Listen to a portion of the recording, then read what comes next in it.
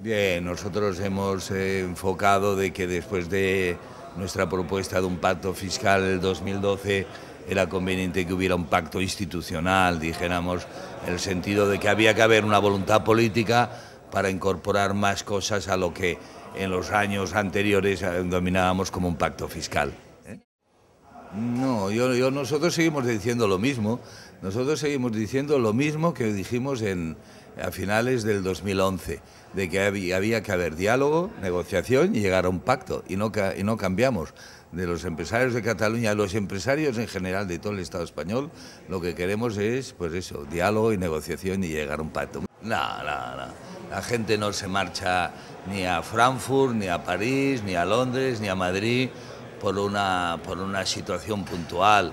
Hay movimientos de grupos empresariales que se ordenan y en la globalización y otros que llegan y precisamente Cataluña en este último periodo ha sido la segunda comunidad que ha, aportado más inversiones, o sea, con una diferencia muy notable con todo el resto de, las autonomías.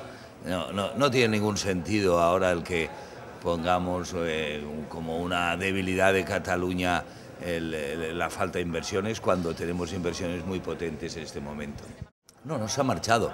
Lo que me parece que aquel estudio se refería era que había mayor concentración en la, autonomía de Madrid por ser capital del reino y concentrar también eh, una cantidad de corporaciones internacionales o globales, pero Cataluña es la segunda territorio y es más, ha despertado mucho más inversiones que en los últimos cinco años anteriores.